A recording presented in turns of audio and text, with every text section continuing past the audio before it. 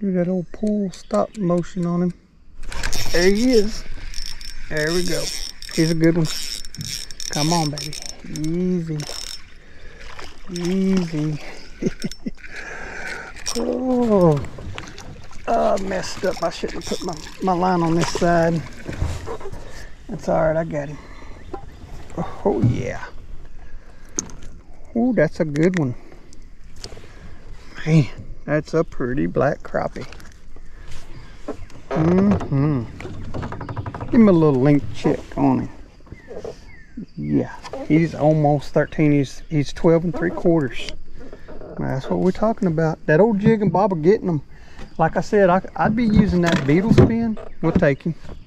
But this debris has stopped me from casting that beetle spin. So I just kind of set it down, grab my jig and bobber.